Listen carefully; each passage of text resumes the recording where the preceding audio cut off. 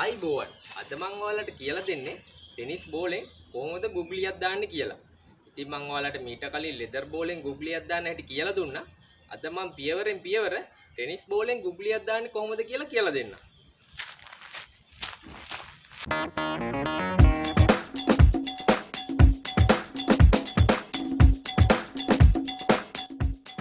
දැන් අපි බලමු ටෙනිස් බෝලෙන් ගුග්ලි බෝලයක් දාන්න බෝලය අල්ලන්න ඕනේ කොහොමද කියලා.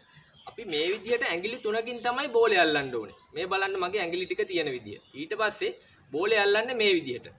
ඔයාලා හොඳට මතක තියාගන්න ඕන දෙයක් තමයි ගොඩක් තද කරලා බෝලය අල්ලන්න එපා.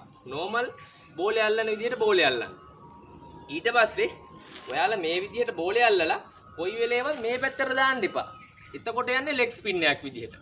අපි මේ විදිහට බෝලය අල්ලලා මේ බලන්න මේ අනිත් පැත්තට තමයි දාන්න ඕනේ. එතකොට තමයි ගුගුලි බෝලයක් විදිහට බෝලය යන්නේ. තේරුණාද? මම දැන් කියා දීපු විදිහට ගුගුලි බෝල් ටිකක් දාලා බලමු.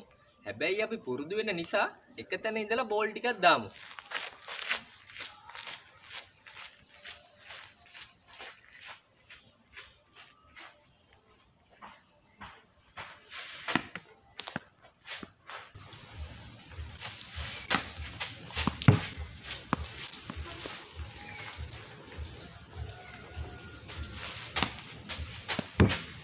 ඔයාලා ගුග්ලි බෝලයක් දානකොට මේ විදිහට අත පැත්තෙන් ගෙනල්ලා දාන්න එපා.